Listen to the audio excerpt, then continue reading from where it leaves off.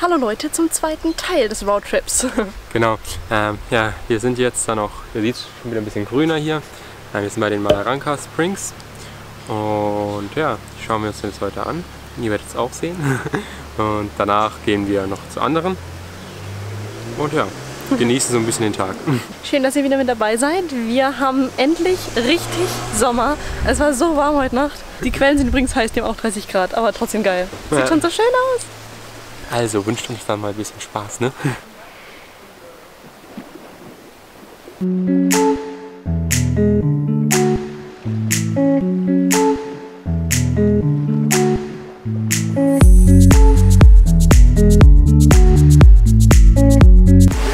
Da. Ganz schön viele Menschen da. Aber ist halt auch eine Attraktion, ne, wie immer. Ich würde sagen, wir gehen jetzt mal rein.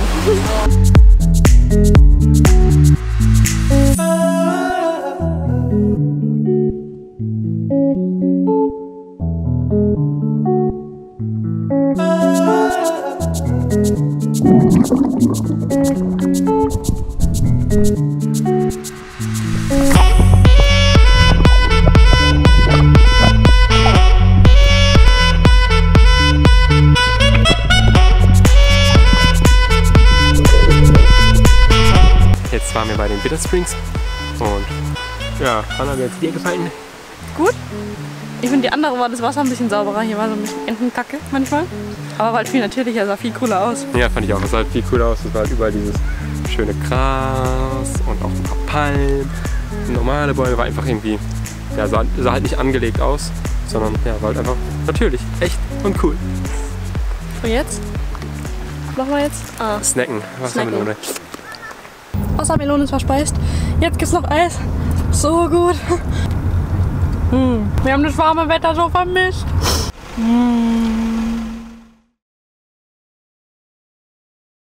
Guten Morgen. Ähm, heute geht es tanken, noch ein paar Sachen erledigen und dann gehen wir zum Nationalpark. Dort gehen wir wandern und da soll es schöne Wasserfälle geben. Die gucken wir uns an.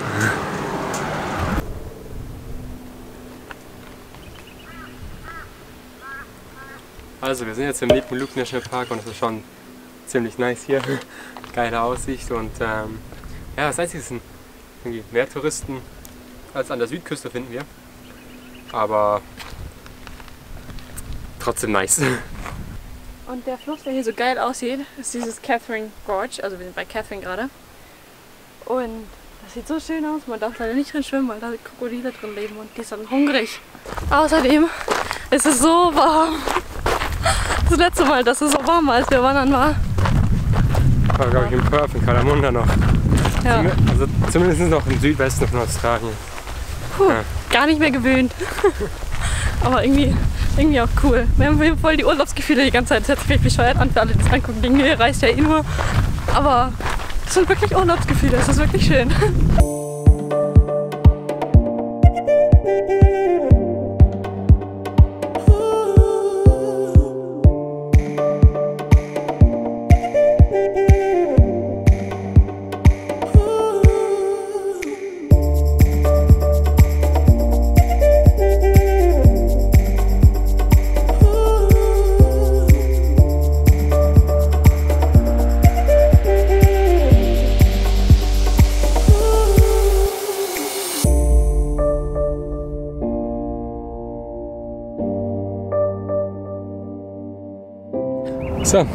ich bin gegen einen Baumast gelaufen und habe jetzt eine Platzwunde am Kopf.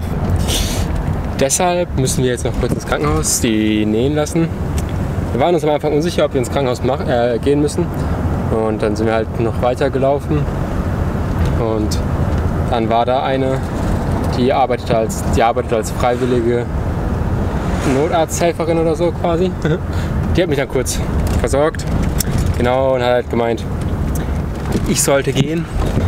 Also auf ins Krankenhaus, einen Stich nähen lassen und dann wahrscheinlich morgen nochmal hierher kommen, weil das, was wir eigentlich sehen wollten, haben wir nicht gesehen. Also anscheinend muss es doch nicht genäht werden. Also wir sind zum Krankenhaus gegangen, ähm, haben es angemeldet. Die haben, dann wollte die den Stich sehen. Sie hat gemeint, sieht sehr klein aus.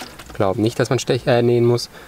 Soll halt einfach kurz Doktor schnell draufschauen, ob sich lohnt, weil ansonsten müssten wir Geld zahlen. Ist uns eigentlich egal, weil wir eine Reiseversicherung haben. Deswegen ganz immer ganz wichtig, immer eine Reiseversicherung haben, weil an der Gesundheit soll nicht gespart werden. Naja, wie auch immer, wie auch immer die haben gemeint, nee, ähm, muss man nicht nähen. Einfach sauber halten. Also nähen wir es jetzt nicht. Halten wir halt ein Auge drauf und dann werden wir es ja sehen. Genau.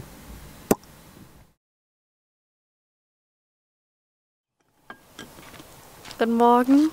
Ähm, ja, wir haben gestern dann doch nichts mehr gemacht, weil es Adri dann doch nicht mehr gut ging. Der hat ein bisschen Kreislaufprobleme gehabt und so. Dann lagen wir nur im Schatten.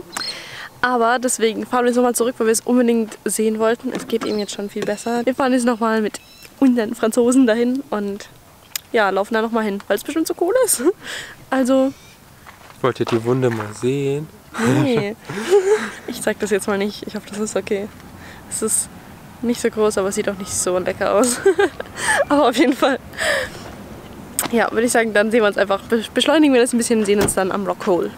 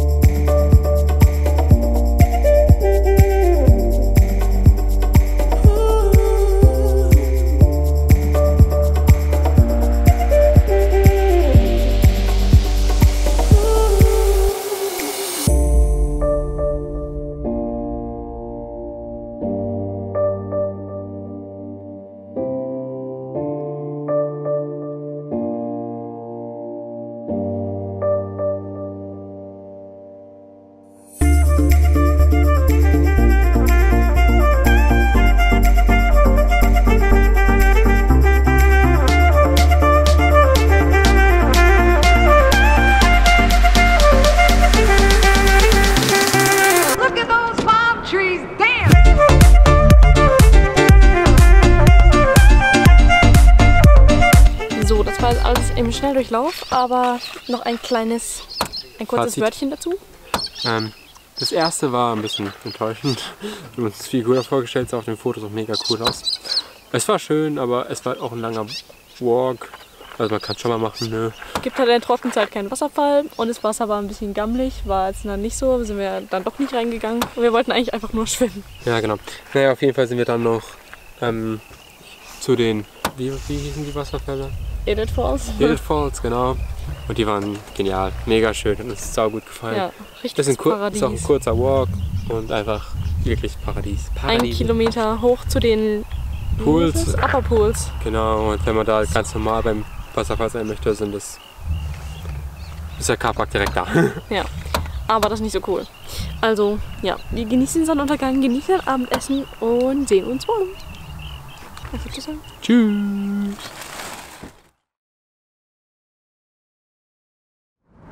Hallo. Hi. Da sind wir wieder. Jetzt sind wir gerade, fahren wir rein in den Kakadu National Park. Und ja, sind wir gespannt. Also das heißt ja, man kommt zu vielen Orten nur mit VBD. Jetzt haben wir halt die Franzosen, die haben VBD. Jetzt mal gucken, ob wir da irgendwie dann zusammen vielleicht zu manchen Orten hinkommen und wie es überhaupt wird. Aber wir sind sehr gespannt. Und wir sind jetzt heute beim 14. Tag, also sind jetzt genau zwei Wochen unterwegs und wir dachten am Anfang mal so, wir machen das ganze Outback in einer Woche und dann so, ja, wir machen es halt vielleicht in zwei Wochen. Und es gibt doch irgendwie mehr zu sehen, als wir dachten, aber es ist auch jetzt, haben wir beschlossen, unser letzter Stopp, also. aber wir sind sehr gespannt. Vor Darwin, ja, vor Darwin. Für diesen Roadtrip, der letzte richtige Stopp dieser National Park, ist aber auch riesig, halb so groß wie die Schweiz und ja, es wird bestimmt cool. Also seid mal gespannt. Wir nehmen euch natürlich mit.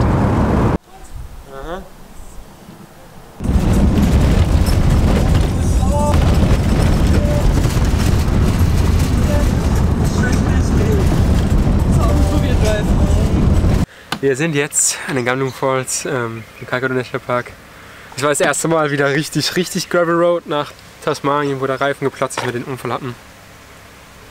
Und ja, deswegen wir gerade wieder ein bisschen froh, auf dem Parkplatz auch wieder zu sein.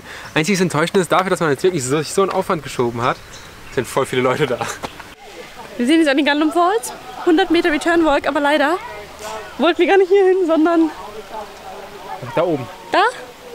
Ich fürchte, da haben wir jetzt ein bisschen mehr noch äh, an Lauf vor uns, als wir dachten. Sieht nämlich ganz schön hoch aus.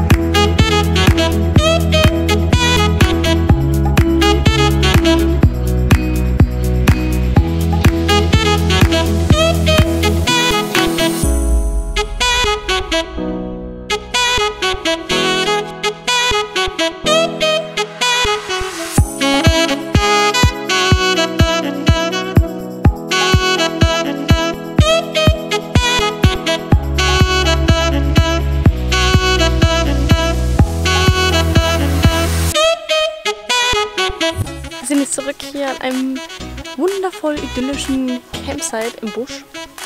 Und echt, die Straße ist so heftig. Das ist so nervig.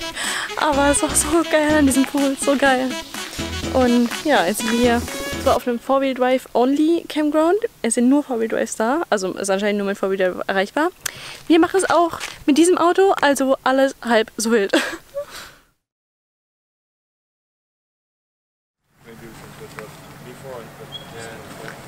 Ja, große Umbauaktion. Ähm, wir machen uns heute auf den Weg zum Jim Jims Fall und den Twin Falls und das ist mit die größte Attraktion hier, aber leider auch nur über einen zweistündig oder längeren Four-Wheel-Drive-Track zu erreichen. Und weil unsere Freunde einen Four-Wheel-Drive haben, haben die gesagt, okay, weil wir am Anfang überlegt haben, ob wir überhaupt hierher kommen, wenn man da nicht mal hin kann und so mit unserem Auto. Uns überlegt, okay, dann fahren wir einfach alle zusammen in deren Auto. Die können die Sitze hochklappen. Was Adria aber nicht wussten und ich aber nicht wussten, ähm, ist, dass die komplette Konstellation aus ihrem Auto rausnehmen müssen und die ganzen Holzdingern alles umbauen. Und jetzt sind wir gerade dabei, alles umzuräumen. Ich bin mal gespannt, ob wir das noch hinkriegen, weil es ist eigentlich schon voll spät. aber ja, mal sehen. Jetzt haben wir schon so viel Aufwand betrieben, jetzt können wir es auch nicht mehr rückgängig machen. Naja, hoffen wir mal, dass es sich wenigstens lohnt und dass es ganz cool wird und nicht so stressig, wie das jetzt alles hier angefangen hat. ah ja, bin ich echt mal gespannt. Oh, da kommt eine Matratze. okay, kleine, aber feine Planänderung. Wir haben leider gerade bemerkt, das sagen wir zu ruhig, das war gerade ein bisschen äh, geschockter, dass beide unsere hinteren Reifen eigentlich komplett kaputt sind. Also da sind so Risse drin, man sieht schon das Metall, das so in dem Gummi drin ist.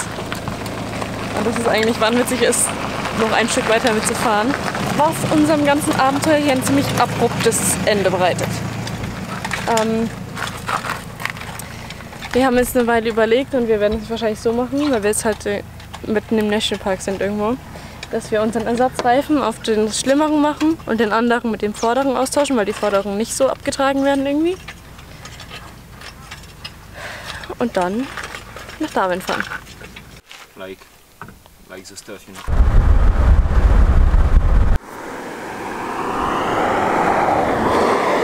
Ihr glaubt nicht, was jetzt passiert ist. Jetzt sind wir gefahren und jetzt ist der Reifen von den Franzosen geplatzt. Als ob, oder?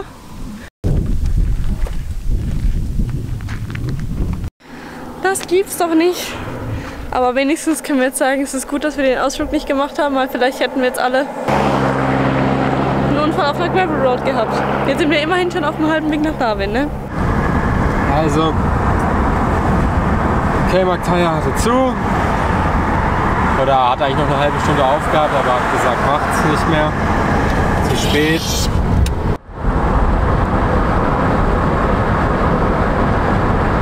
So, hier schlafen wir jetzt auf diesem netten kleinen Rastörtchen und sehen uns dann morgen wieder und hoffen, dass morgen, der morgige Tag, ein bisschen besser für uns läuft. äh, bis morgen.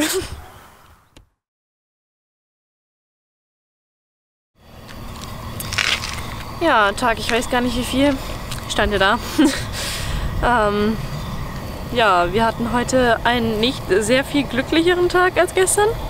Also ein bisschen, aber nicht wirklich. Wir haben die Reifen gewechselt. Das hat fast 160 Dollar gekostet wieder. Das sind jetzt die sechs. Jetzt haben wir insgesamt sechs Reifen gekauft für dieses Auto. Innerhalb von 10.000 Kilometern oder so. Geil.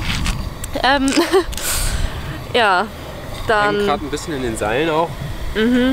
Wissen nicht wirklich. was wir machen, was passiert jetzt. Und ja, es ist einfach irgendwie alles ein bisschen komisch, ein bisschen doof.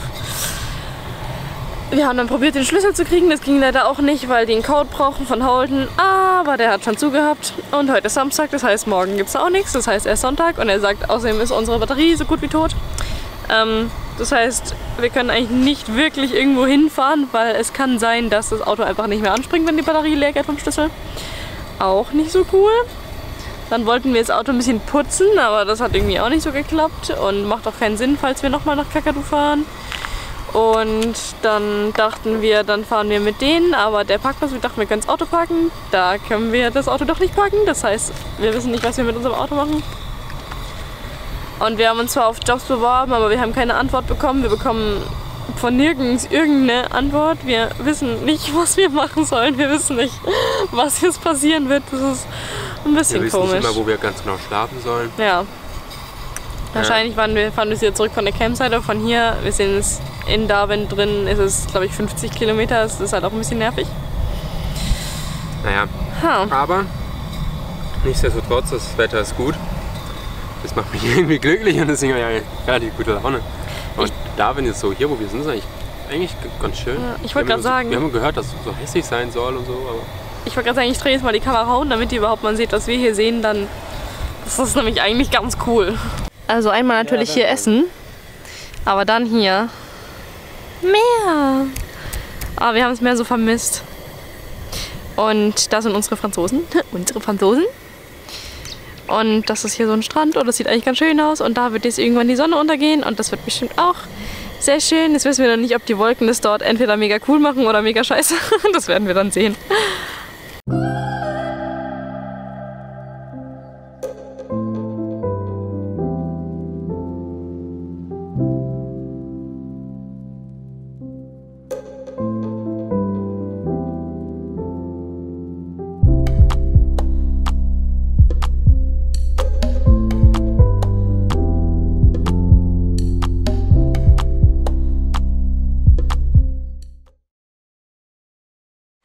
Erneute Umraumaktion vollendet. Heute fahren wir wieder zum Kakadu Nationalpark.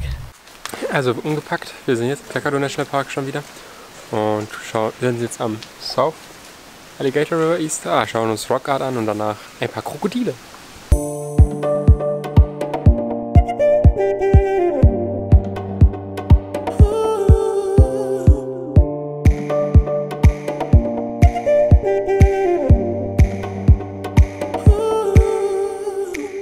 Also wir warten jetzt hier noch äh, eine Ewigkeit, weil wir immer noch keine Krokodile gesehen haben, was wir aber unbedingt sehen wollen.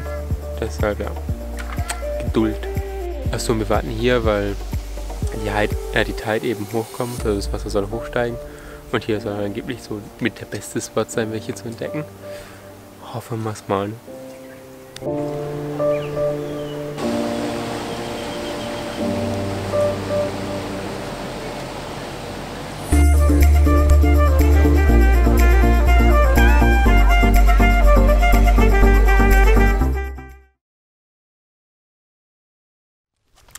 Hallo. Also, wir haben gestern noch ein Krokodil gesehen, ganz kurz, nach viereinhalb Stunden Warten. Zumindest haben wir die Nase gesehen, dann ist es wieder abgetaucht. Ja, wir haben auch den Rücken und so gesehen. Ja, man konnte sich groß. schon denken, dass es riesig war. Nee, man hat es eigentlich relativ gut gesehen. Ja, es war cool, aber wir haben echt lange gewartet. Und dann sind wir noch im Dunkeln zum Campsite gefahren, haben ihn jetzt nicht gefunden. Dann wussten wir nicht, ob wir da campen können oder nicht, wegen Krokodilen. Dann hatten wir alle Schiss, und dann doch nicht. Und dann waren wir alle noch fertig. Und dann haben wir das Camp aufgebaut im Dunkeln. Es waren so viele Mücken. Dran gedacht, irgendwie richtige Campingausrüstung mitzunehmen. Haben wir natürlich auch nicht. Das heißt, wir haben alle auf dem Boden geschlafen im Zelt. Ähm, haben ein bisschen gefroren. Auf jeden Fall hatten wir eine ganz tolle Nacht. Heute, wahrscheinlich letzter Tag vom Roadtrip, jetzt endlich endgültig wollten wir zu den Jim Jim Falls. Ähm, das hat dann am Ende nicht so geklappt. Weil also wir sind ja jetzt zu viert mit dem Four-Wheel Drive von denen unterwegs und dann hat der leider irgendwie nach 12 Kilometern mehr oder weniger gemuckt. Also kam Rauch raus und hat komisch gerochen. Dann sind wir umgedreht, hier sind wir viel gefahren, um nicht wirklich was zu sehen, aber wir gucken uns jetzt noch eine Seite hier an, Nolanji oder sowas. Ja, und das kann man überall mit. Teuerster Nationalpark, den wir je gemacht haben. Ja. Und Mit der mag uns nicht. So viel Pech, also wirklich alles geht schief. Aber an sich, was eigentlich traurig ist, weil das ist eigentlich sehr, sehr schön. Also gut, jetzt noch den letzten Stunden hier genießen und dann gehen wir wieder.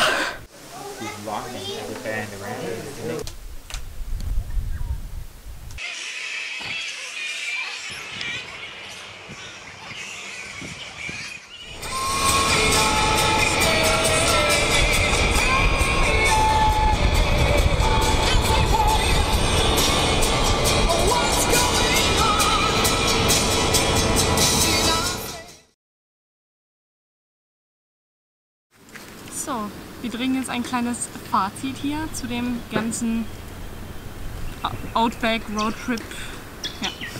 Ja, diesen Reiseabschnitt hier. Ähm, wir fangen vielleicht an mit den Kosten. Vielleicht ist das das, was die meisten am ehesten interessieren. Dazu gehören halt eben Spritkosten. Wir haben insgesamt 600 Dollar 650 Dollar. 650 Dollar für Sprit ausgegeben. Und für Essen haben wir für zwei Wochen 80 Dollar ausgegeben. Also wir haben davor schon eingekauft. Für zwei Wochen, aber wir waren ja insgesamt länger. Aber Sprit war auf jeden Fall teuer. Ja, Sprit war teuer.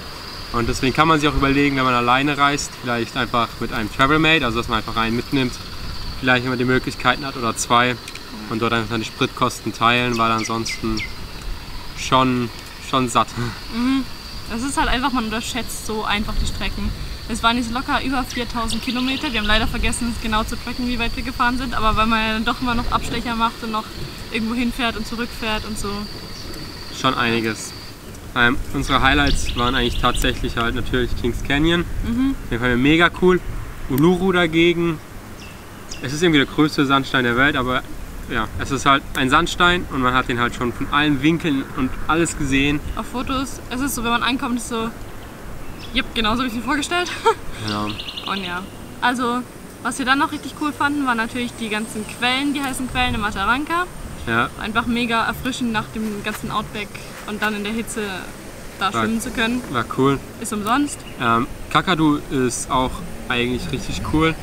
Ähm, Kakadu ist, kann cool sein, wenn man einen guten Four-Wheel-Drive hat, sagen wir es mal so. ich finde, man kann, man kann auch mit dem Two-Wheel Drive dort Spaß haben. Es ist halt ja, im Nachhinein hätten wir wahrscheinlich eher einfach nur Litchfield machen sollen. Ja. Wobei wir jetzt am Ende nicht Litchfield gemacht haben. Man muss sich bei Kakadu einfach bewusst sein, dass es riesig ist. Es sind allein 300 oder 400 Kilometer Abstecher nur, um, also statt direkt nach Dublin über Kakadu zu fahren. Man fährt dort locker 100 oder so Kilometer von einer Sehenswürdigkeit zur nächsten. Die Campsites kosten auch alle nochmal, nur 6 Dollar pro Person, aber es kommt noch dazu, der Parkeintritt kostet auch 40 Dollar pro Person. Für sieben Tage aber. Ja, aber also, es ist schon Es ist schon. happig. Ja. So. aber Und- es ist cool. Ja, es ist, aber ich würde mal sagen, wenn man da hingeht, sollte man irgendwie die Möglichkeit haben mit einem guten Four-Wheel Drive, weil sonst wir haben die Highlights von dem Park einfach nicht gesehen. Und wir hatten auch echt eine Fechtsträhne dort. Aber ja, wir fanden, was wir auch geil fanden, waren die Ed- Edith Falls in Nipmuc National Park. Ja, Ja, der war richtig cool. Und bei Catherine da, der Nationalpark, den fanden wir auch richtig cool eigentlich. und alles im Northern Territory ist frei, außer Kakadu und Ulu. Ja, genau. Und dafür sind die richtig teuer. Ja. Ja, wir waren jetzt in Darwin tatsächlich viel länger als wir dachten. Also hat auch mit dem Auto zu tun, aber wir dachten am Anfang, wir fahren nur schnell nach Darwin, kaufen halt nochmal Essen und fahren dann in die Ostküste.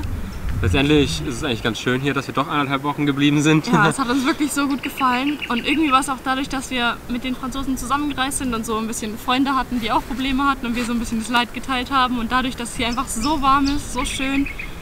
Es war alles im Endeffekt gar nicht so schlimm, aber zu den ganzen so Problemen und was wir mit dem Auto schon alles für Pannen hatten und wie wir so damit umgehen, reden wir noch einmal ein bisschen was im nächsten Video. Aber Darwin ist ein Traum, würde ich sagen, oder? In der Ja. Trockenzeit zumindest. Der Trockenzeit. Ja, es ist total schön. Ja, so drumrum ist auch ganz schön. Wir haben gehört, Litchfield, das soll auch mega cool sein. Wir sind jetzt leider nicht hingegangen. Ähm, und werden auch nicht dahin gehen, weil wir gesagt haben, wir müssen nicht alles sehen und wir wollen jetzt auch an die Ostküste. Mh, hatten dafür aber noch einen richtig coolen Abend gestern am Gunpoint. Wir sind mit dem Couchsurfer dorthin gefahren und der hat einen Four-Wheel-Drive und da sind wir so eine Four-Wheel-Drive-Strecke gefahren und das war richtig cool. Ja, da, da sieht man mal. So für was, mache ich also für was die Australier eigentlich teilweise den Four-Wheel-Drive haben. Und auch wie angenehm es sein kann, über so eine, Sch- so eine Schrottstraße zu Ja, fahren. total. Naja. Ja. Auf jeden Fall ähm, beenden wir das Video hier. Und wir hoffen, es hat euch natürlich wie immer gefallen. Ähm, wie gesagt, wir nehmen uns eine kleine Vlogpause für, also für Darwin haben wir nicht gevloggt und dann auch die Strecke bis nach Cairns. Das heißt, wir sehen uns dann wieder kurz in einem Video über die ganzen Autoprobleme und dann an der Ostküste. Wir hoffen, das Video hat euch gefallen, also lasst einen Daumen da und ein Abo hier. Hier kommt ihr dann zum nächsten Video. Tschüss!